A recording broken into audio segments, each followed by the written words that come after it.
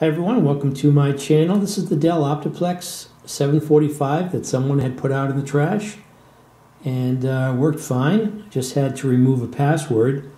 Uh, it's got an 80 gigabyte hard drive. Originally had 504 megabytes of RAM and uh, I added a new video card because it just was utilizing the onboard graphics and uh, that shared the existing memory uh, but I upgraded the memory to 8 gigabytes and forgot that would not be able to utilize that because it's a 32-bit operating system.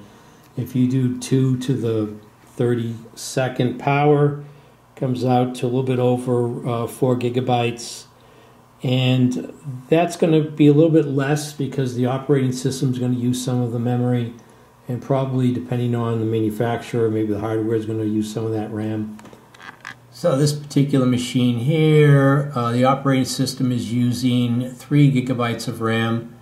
Uh, I have an Intel Core 2 CPU 4400 at 2 gigahertz, and that's a 64-bit processor. So the next challenge I decided to try is to install a 64-bit operating system. So I've got a copy of Windows 7 Professional here and I want to upgrade the hard drive.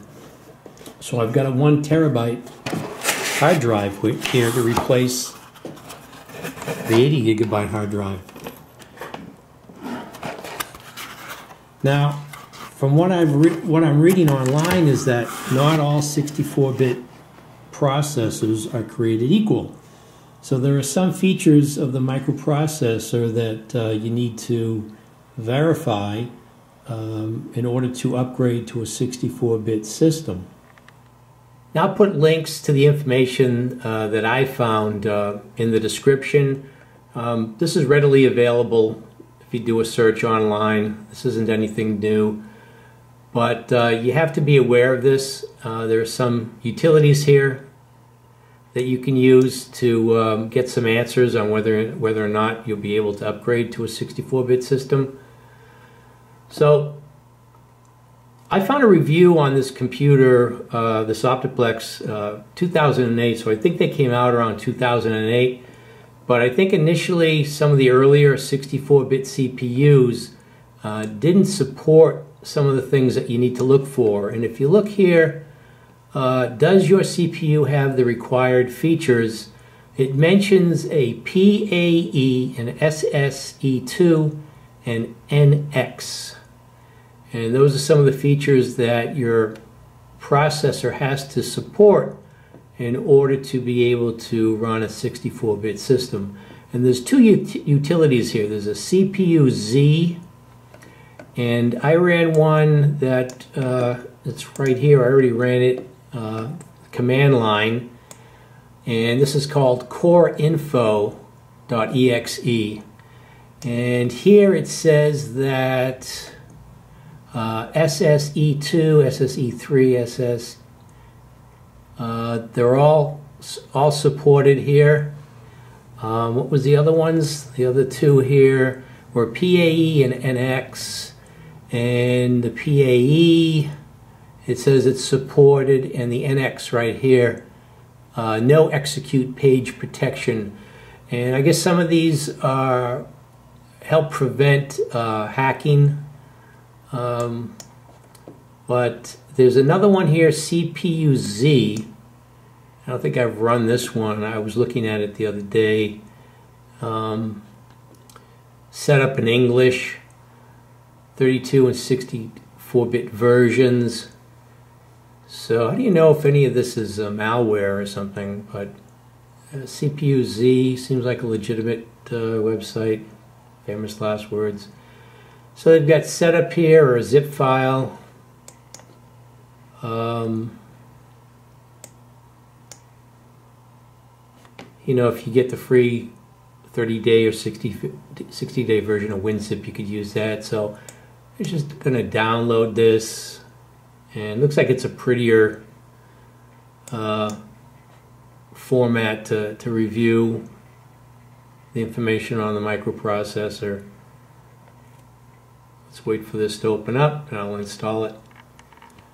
So the worst thing that can happen is uh, I can't install the 64-bit Windows 7 and then I just put the 80 gigabyte hard drive with Windows XP back in.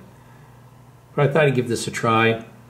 I don't currently have an opera, a 64-bit operating system on, on any computers. So I'll install this, create an icon, finished.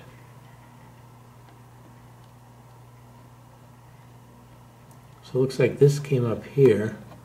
It's not what it was showing in that article. Let's see if I run it from uh, the icon.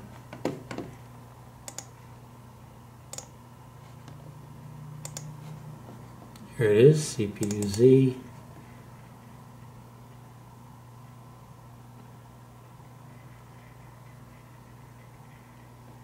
Actually, didn't that say CPU ID? So you can see here instructions MMX, SSE, SSE2, 3, EM64T. Um, hold on, because I'm looking for the NX. Now in the article here, it says that um, EM64T should indicate that PAE is supported and VTX or VTD always indicates that NX is supported. Uh, I don't see that, but in the um, core info, it actually shows that. So, but it does say in some computers you have to enable NX in the BIOS. So um, I don't know why this is here. There seems to be some discrepancy between those two utilities. So here I think this is saying that it has NX support. I might have to go check in the BIOS to see what's going on there. So here's a quick overview of these of those features. Uh, no execute NX it's a processor feature that allows memory pages to be marked as non-executable. The feature enables the CPU to help guard the system from attacks by malicious software. Um, the Intel-defined execute disable XD-bit feature on AMD, it's defined no execute NX page protection processor feature. Uh, physical address extension, PAE. The processor must be running in physical address extension mode to use the NX processor feature. Uh, streaming SIMD extension 2, all processors that support NX also support streaming SIMD extension 2. So I don't know, it's saying I have that, but I don't see a reference to NX uh, in one of the utilities. One utility says I have NX and the other one says uh, I don't. So I think I'm just going to go ahead and give it a try and see what happens. Installing a 64-bit version of Windows 7. So even if your microprocessor supports SSE2, EM64T, and VT-X or the NX, uh, there is another important factor, and that's whether you not whether or not you've got 64-bit drivers. And from what I can uh, find online, uh, there are supposedly 64-bit drivers for the Optiplex 745. Uh, I guess you use the Vista 64-bit uh, drivers, and they work. So I'm going to go ahead and install the one terabyte hard drive and open up this box of Windows 7 and see if I can go through a fresh install of a 64-bit uh, Windows 7 Professional. So all I need to do, well let me, first thing is unplug it. Need to take out this hard drive. It's got a fan assembly that goes onto the hard drive. So I need to install that. So I need to unplug this. It's a SATA drive. Unplug that. And power.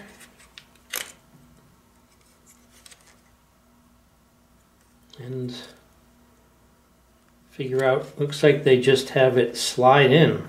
Some something that they've attached to the hard drive. No? Let's see. I was looking at these wheels here. Looks like they need to slide in, but that goes this way. This goes that way. Should have probably gone online to see how to remove hard drive. Oh, looks like there's some more blue tabs, give you a clue. I notice these here, these two, so maybe it just drops out from one end if you press these.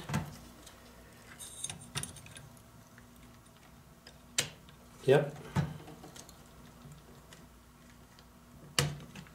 Wow, that was easy. Some more dust I can clean off.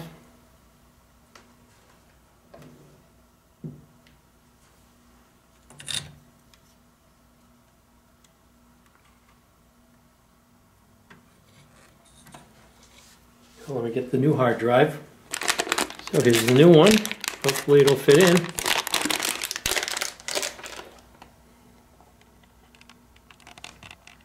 So here's the 80 gigabyte hard drive and here's the one terabyte. Looks like they're the same physical size. So they should this should snap into this this bracket here. I like this, the way this sits in. I thought I had to disassemble this somehow. This just falls right in. There's one. There's two. It's in there. Just need to reconnect this cable and the power cable.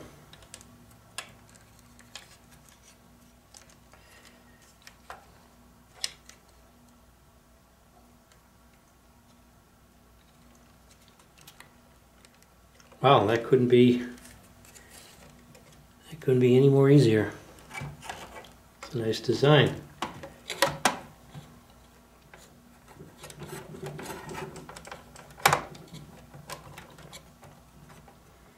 Wow, that was easy.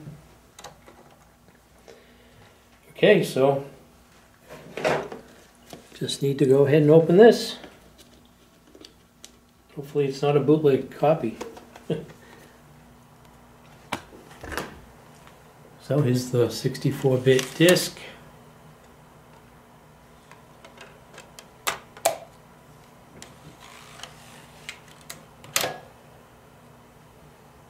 Press F1 to reboot.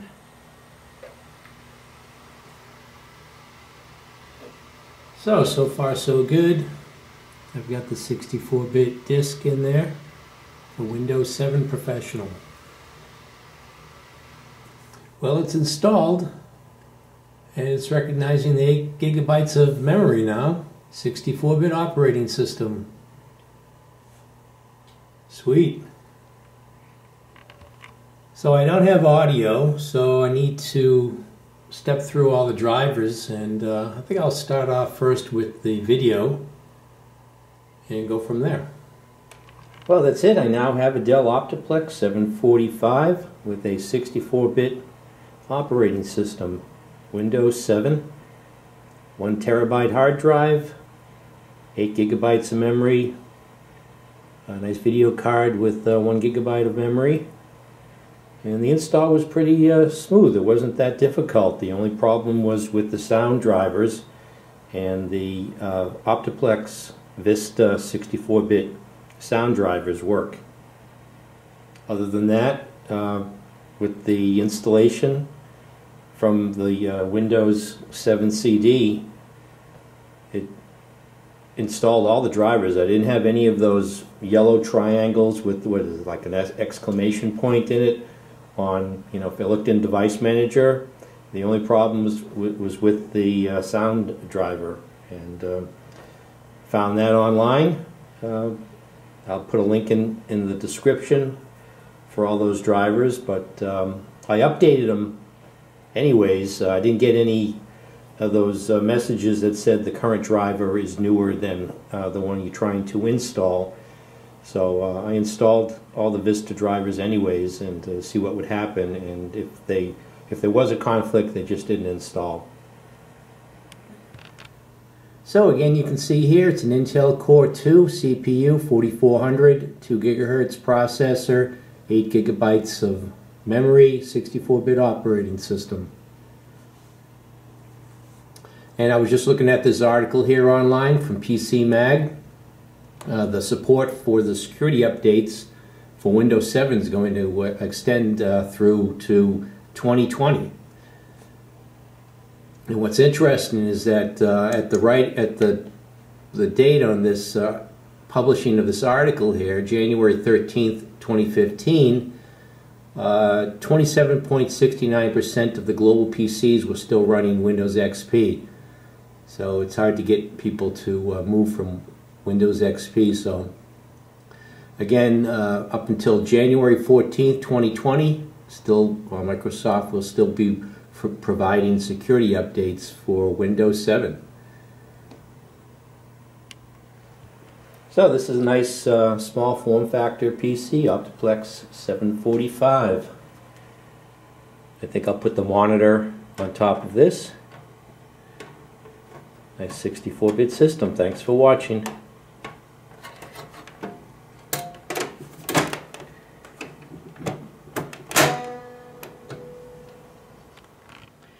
And if you found this video interesting, please like, subscribe, and or comment, and see you next video.